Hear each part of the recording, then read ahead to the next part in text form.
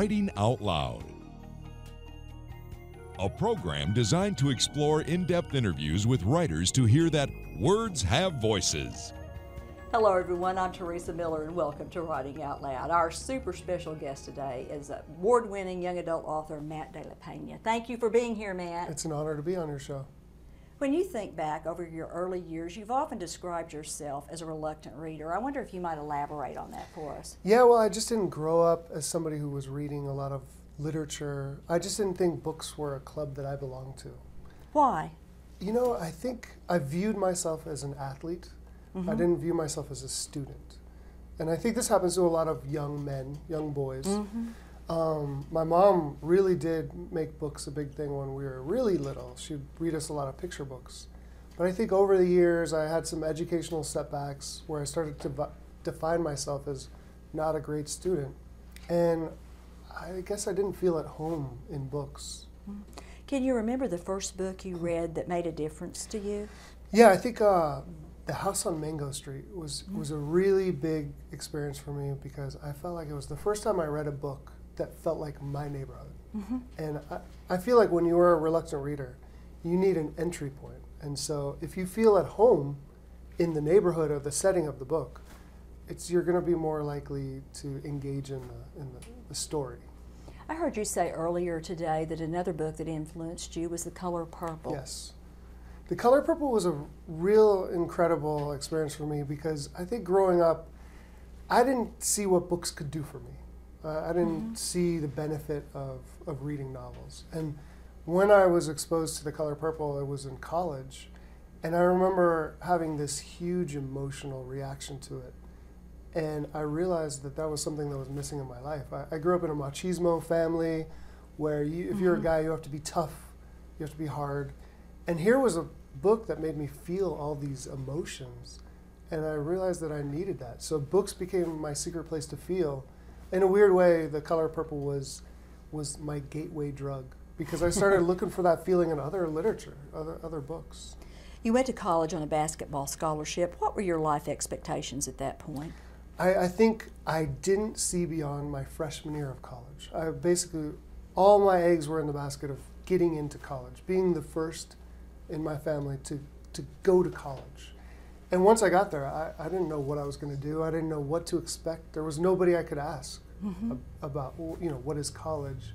So when I was young, it was all about getting into college. And then when I got there, I just, I felt like my life began. Mm-hmm. My, especially my interior life. Mm-hmm. I started taking school really seriously at that, at that point. And you eventually found your way into an MFA program. When did you realize you were a writer? There were two distinct moments. The first one was uh, when I was in high school, and I had an English teacher that really kind of basically told me I was a great writer, even though I wasn't ready to hear that. So at that point, I still wasn't ready to hear it, but it was in the back of my head. Oh, she thinks I'm good at writing. Mm-hmm. But the biggest thing is, I was writing all these kind of spoken word style poems, mm-hmm. you know, secretly hidden in journals, never showed anybody. And then I, I I went to my English department and I saw that there was this flyer. Um, and it was this writing contest, and they had little strips hanging off. You know, you're supposed mm-hmm, to take mm-hmm, one. Mm-hmm. I tore off the whole sheet. That's and, commitment. Yeah, and I said, you know what? I'm gonna. If nobody else knows about this contest, maybe I'll win it. You know, but it turned out that I ended up winning the contest. And it was the first time I ever, I guess, put myself out there with my writing. And when I won the contest, I thought, man, well, maybe I could do this. So it was kind of like that uh, epiphany moment. Maybe I could be a writer. Why the focus on young adult fiction? Young adult fiction found me. uh, when I wrote my first book, I just thought I was writing a book. Um, I wrote the book, finished it, got an agent. He said, Matt, he called me uh, about six months after I finished the book and said, Hey, Matt, there are two uh, imprints that that are interested in the book. One of them is Graywolf, which mm-hmm. is adult literary, mm-hmm. and one of them is Delacorte, which would be young adult. He said the young adult imprint is offering a second contract for a, an unpublished book, um, and the, it's a better financial package. I'm leaning toward the YA. What do you think? I was like, yeah, that sounds great. I was so excited, jumping up and down, and then I went home and Googled what young adult was. I'd never heard mm-hmm, of it. So, mm-hmm.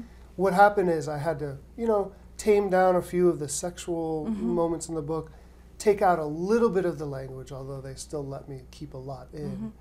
And I, what I realize is that I love the coming of age story. I love to read it, mm-hmm. I love to write it. And it just so happens that my career began while the young adult boom was happening mm. that we a lot of us didn't know about. What are some of the common misconceptions about YA literature?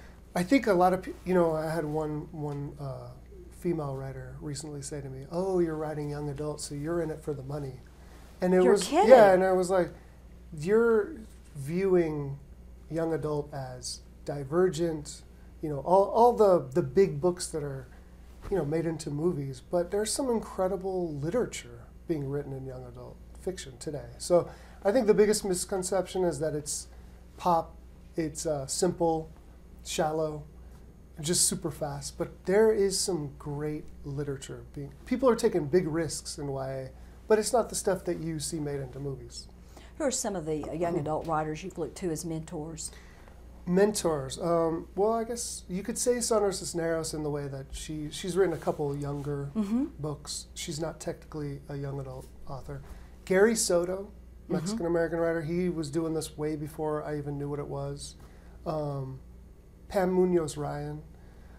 But some of the new, the new, fa- uh, I guess Walter Dean Myers was a was a he was he's the godfather of what I do. S.E. Hinton. Yeah. You know, these are the, the legends that are writing the stuff that I'm doing. They paved the way. Yeah. Some of the newer authors, like Jackie Woodson, A.S. King, Markus Zusak, who wrote The Book Thief, you know, there, there's some incredible writers that are choosing this field.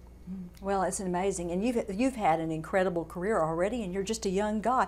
Let's talk about your first novel, Ball Don't Lie. How did you get the idea for this book? You know, I think they always say your first book is, is really close to home, and it was for me. Uh, I just wanted to write about a kid with nothing except for the game of basketball, and that's where his home is.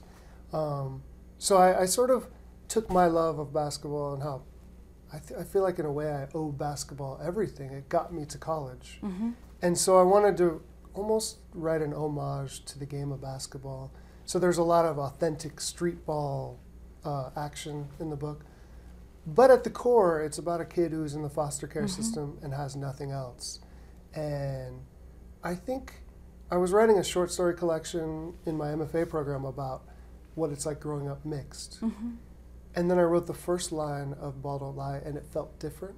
And I was like, huh, I don't think this is one of those stories. Maybe this is something different. And it became a novel.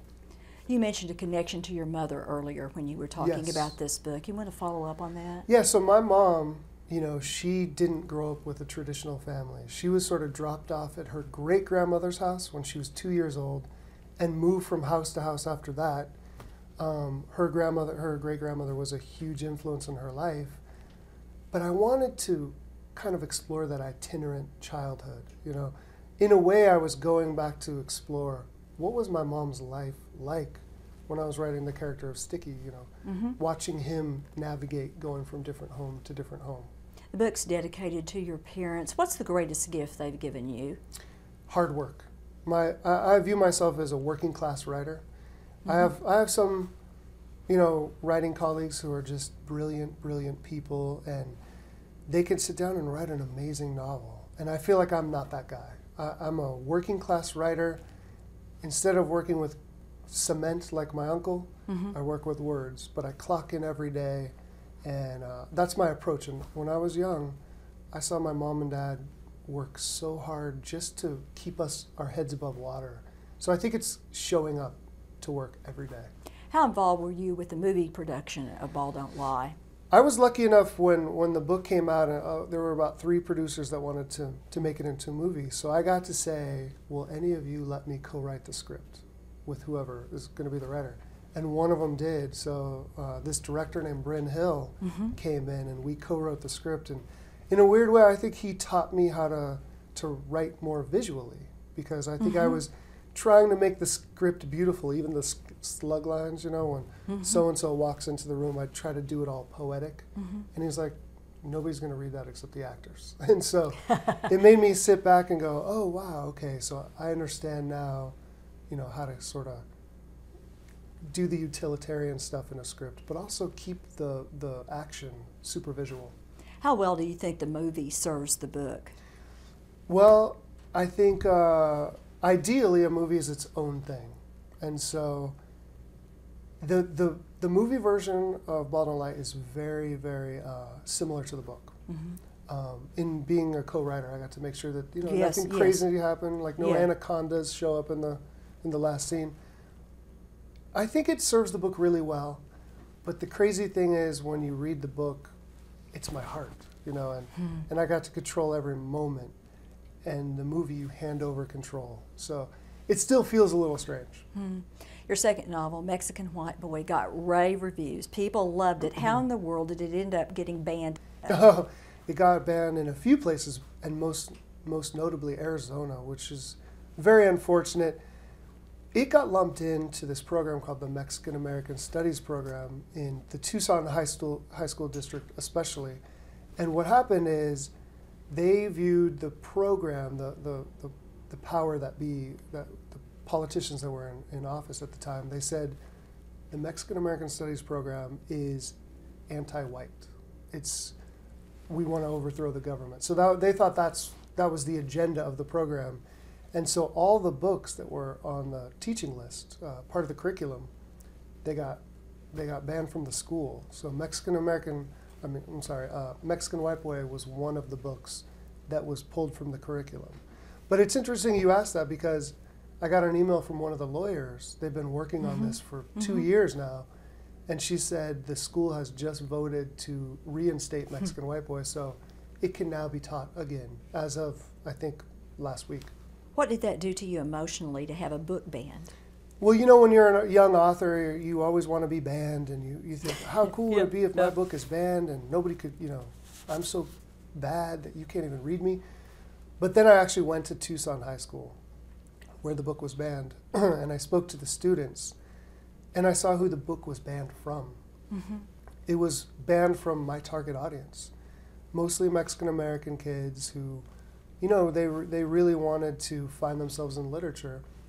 And here, this book with characters that look like them, written by somebody whose name is just like theirs, it was deemed illegal to read. It was actually boxed and put in the basement. So that was very sad. What kind of conversations did you have with those students? Well, it's funny because on the surface, they they had their literature pulled from them, and I think the motivation politically was to sort of make sure that hey, you know, respect the power that's that's in office now. But what they succeeded in doing is creating a generation of activists. So these kids were chaining themselves to desks, saying, "We want our program back. We want our books back." So in a way, they really motivated the students to fight even harder. I will say one of the most um, incredible experiences I've ever had as an author is going there, and I I was lucky enough to take the honorarium that they gave me, and I got to use it to buy Mexican White Boy for every kid who had it taken out of their hands. So Oh, that, was was- pretty empowering. Oh, I, I imagine it was, and how nice of you to do that. It's got to be gratifying, too, Matt, that so many of your books are chosen as quick picks for young readers. And I wondered if you give us your quick take on I Will Save You. I Will Save You is my sad, sad book. Uh, sometimes I'm with my editor and somebody will say, What's I Will Save You book? And I'll say, It's my saddest book. And my editor will say, We need to work on how you pitch this book. but the truth is, you know, there are more and more kids today suffering from depression. So I wanted to explore that. Did that have any kind of autobiographical sub story for you? It, it really didn't. This was probably more in the education I chose. I, I majored in psychology and English, but I worked in a few schizophrenic homes. Mm-hmm.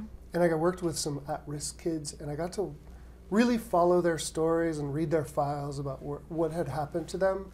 So it was more, that book was born out of the people I had worked with when I was uh, in graduate school.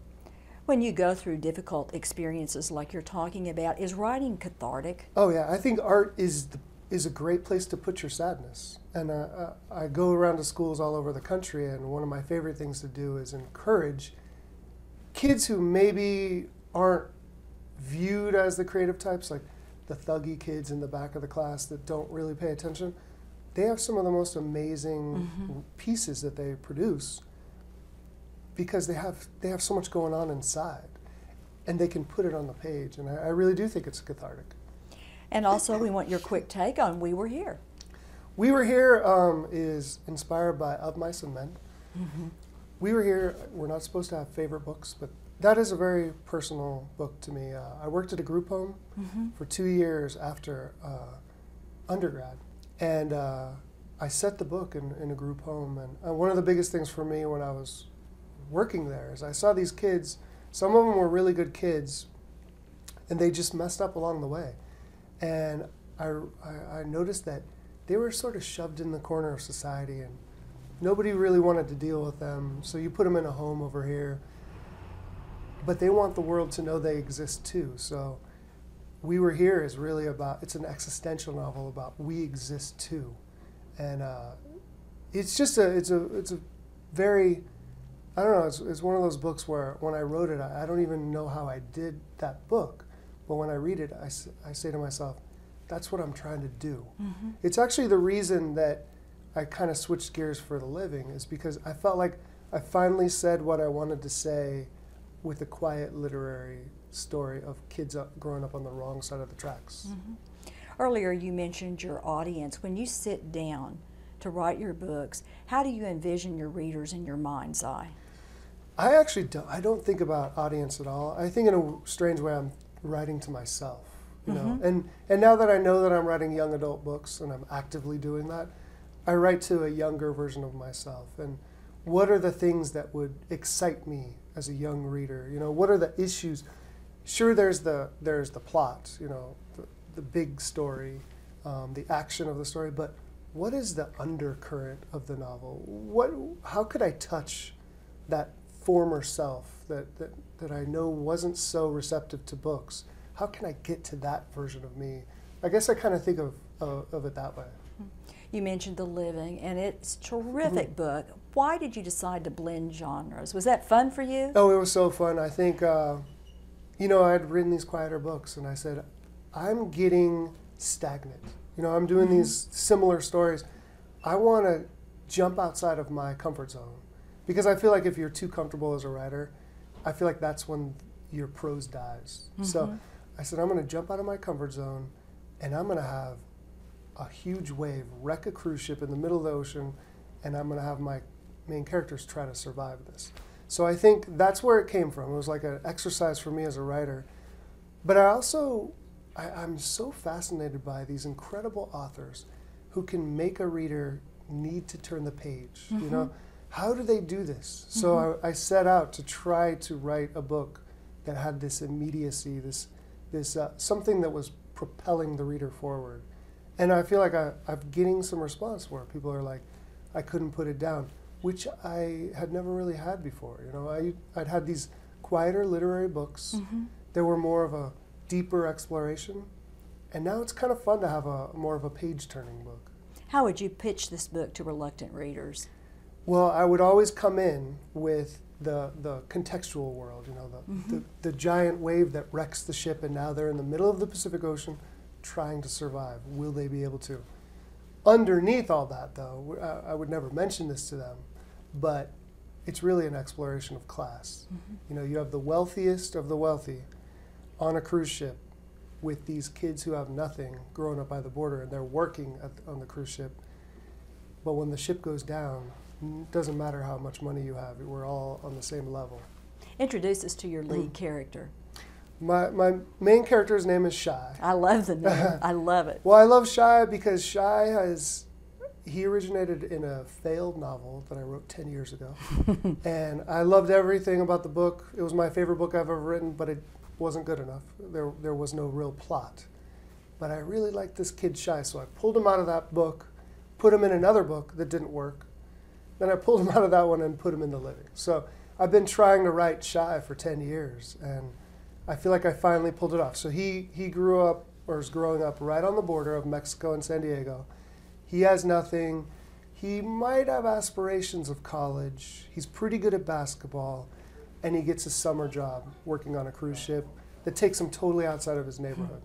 Did you always know you were going to write a sequel? Yes, I did. I started the book thinking there the very beginning of the book, and this is a minor minor spoiler alert, but the very beginning of the book, Shy witnesses somebody jump over the edge. Mm-hmm. I knew that that was the key to not only this book, but the next book, when the guy who jumped over. And the next book, The Hunted, begins on 44 days. Yes, uh, exactly. into the tragedy. Exactly.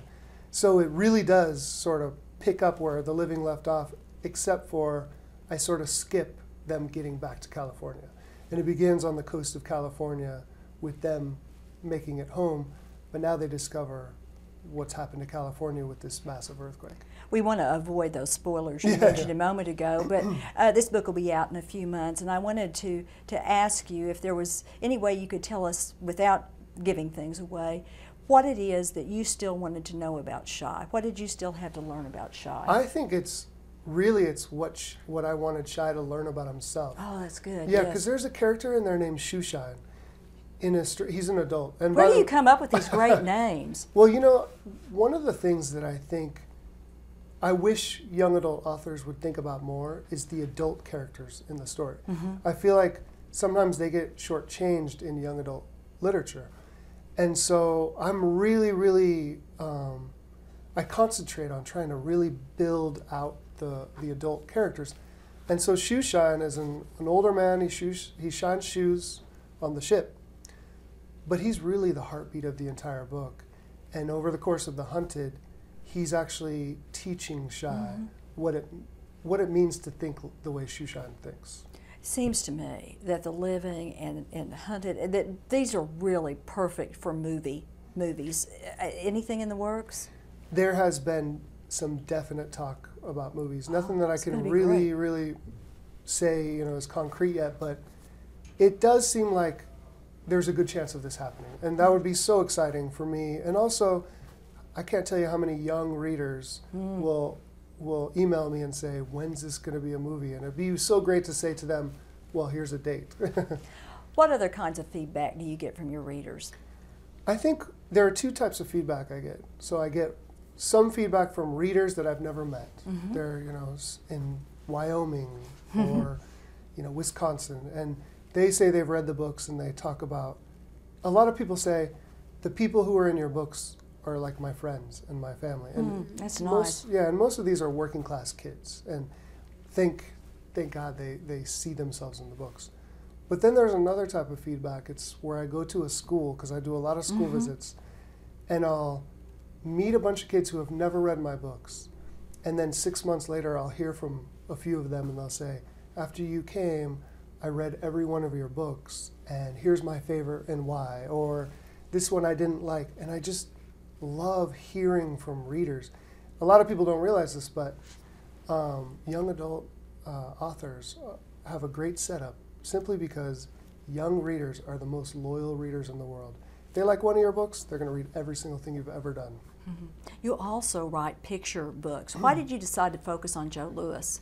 Joe Louis, uh, he he demonstrated so much grace in a you know such an aggressive um, profession, boxing. But the the fact that he was the kind of guy who would be more likely to help you up after he knocked you down than to talk trash. So I really wanted to work with him. I, I'm very interested also in how sports can transcend sport. So the way that Joe Louis, um, for the first time ever, not only was Black America rooting for Joe Louis against Max Schmeling, you know, part of Hitler's mm-hmm. Germany, but white America was rooting for him too. And it was so great to read about, you know, when both races, in a time of racial tension, were coming together to really rally behind an African American athlete. And just recently, you released The Last Stop on Market Street. It's gotten starred review in Kirkus, a starred review in Publishers Weekly. You got to be feeling pretty good. I'm excited. Uh, the illustrator, I was lucky enough to work with Kadir Nelson on the first book, uh, A Nation's Hope. And then I was matched with this incredible young illustrator named Christian Robinson. He is going to take over. He's going to win a Caldecott for sure at some point. Um, and we worked together a little bit, and and the story is so fun because it's fiction. It's about a little boy and his grandmother leaving church, taking the bus to their destination, and You know, I think in this today's world, young people are so inundated with this idea of you should have this, you should have mm-hmm. this, mm-hmm. and it feeds them into wanting and wanting and wanting. And I, I was thinking when I was writing this book, what's the counter narrative? So the grandmother in the story, Nana, she's the counter argument, and she's basically telling him through the entire bus ride, but you have, you have, you have. So it's sort of that's the message of it, mm-hmm. but it's also just fun. And uh, mm-hmm. the illustrator, I think, is just an incredible visual storyteller. When you think back over your body of work, I mentioned for a young guy, you've got all these mm-hmm. books. What do you see as your primary message? The, the thing that I set out to do is show moments of grace and dignity on the wrong side of the tracks, the quote unquote wrong side of the tracks. Because I think sometimes the people living in the neighborhoods that aren't the ideal neighborhoods, sometimes they're forgotten about in literature. And I think there's some amazing, beautiful things happening in those neighborhoods. Mm-hmm. And I want to tell those, those stories. You know, I grew up in a working class family right by the border. And I think sometimes when I would read books, I couldn't identify with the people. And I hope that the people like me reading books today, young people, will find themselves in, in the stuff I write. Do you ever plan to write any adult books? Oh my gosh, so that's my dream. I have one halfway done, and I, I would love to be able to do that because I have adult things that I would like to explore too, especially now that I have a little daughter. I want to write picture books and adult books because I have, you know, a family now. Matt, it's been so great having you with us. Thank you so much. And thank all of you for joining us on Writing Out Loud.